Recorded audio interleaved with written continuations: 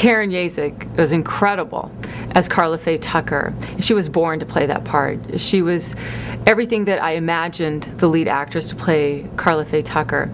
She was energetic, vibrant, youthful, and allowed the light of the gospel of Jesus Christ to shine through her eyes. Karen Jezek dedicated a whole year of her life to watching tapes on the real Karla Faye Tucker, learning her mannerisms, her speech patterns. And there was a, a song that Karla Faye Tucker had taught herself sign language to, which was Ray Boltz' Thank You. And so Karen Jezek would watch that uh, tape over and over again. And for about three months before we started shooting, she memorized and would, would rehearse the Thank You song over and over again. And I have to say, on the set, that was her most brilliant moment, uh, was when she signed to the song Thank You, because it was just like watching Karla Faye Tucker. No! Don't you do this! Don't you quit on me, Karla!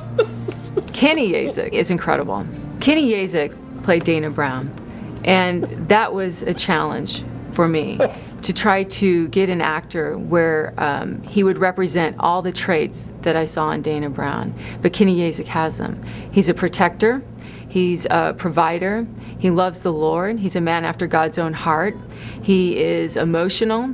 He's not afraid to say he loves Jesus and that he loved Karla Faye Tucker, which was a woman, a pickaxe killer, former prostitute on Texas death row. And so Kenny Jezek uh, picked up that mantle with such ease and did an incredible job. And the things about Kenny Jezek that you see in the film, especially him being a protector, I believe is is what Dana Brown is all about. Then finally Helen called us and said, "Okay, it's a go. We're going to shoot this film." And that was becoming a reality, and it was kind of scary because we were going to have to memorize a whole lot of dialogue, a whole lot of pages, emotional stuff, very heavy, dramatic stuff. Well, and, and I think it's important to know that neither one of us had ever carried a lead role in a feature film. Right. And it was very apparent that this was beyond us. This was beyond our capabilities. This was beyond um, our skills. Mm-hmm. And, and it was a good place for us to be. Right. Because you know, it would have been real easy for us to get prideful and puffed up about it and think, wow, you know, this is all about us and we're real good and we can handle this.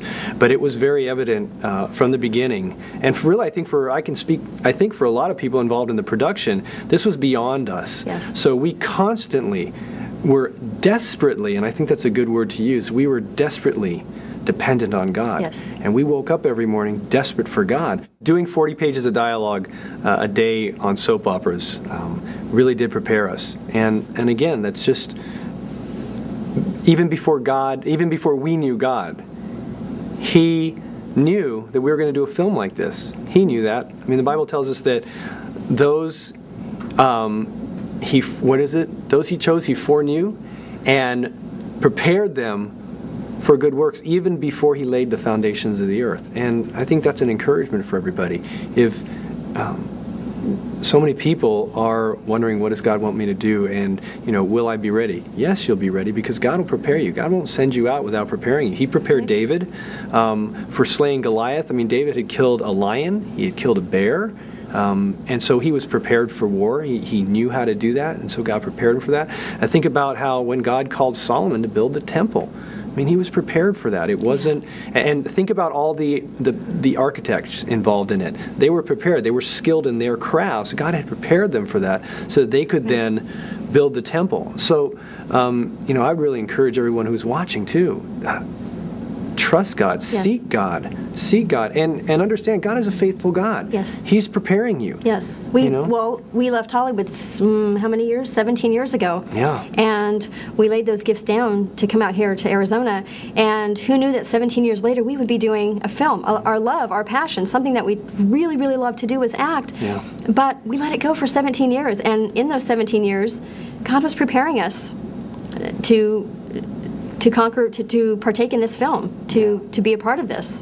Think some people get so impatient. They want they want their dreams to come true. They want their vision fulfilled right now. But sometimes you know god god lets us wait it out for a little while because he wants to know that we're prepared. Yeah, I, I would just encourage you pursue God. Pursue God. The, the dream is there because God is the one who has the dreams. He's the one who has all that in his hands. So pursue him. And I think that's really what what when we laid those gifts down, it wasn't with a desire to pick them back up, it was a desire to pursue God. This God who loved us so much that he sent his son to die for us. Yes. This God who called me out of my darkness and into his light.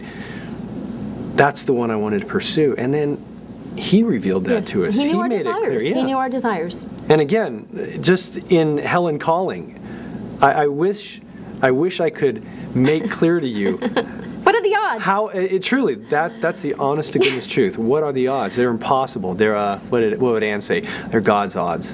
Really are. Yeah.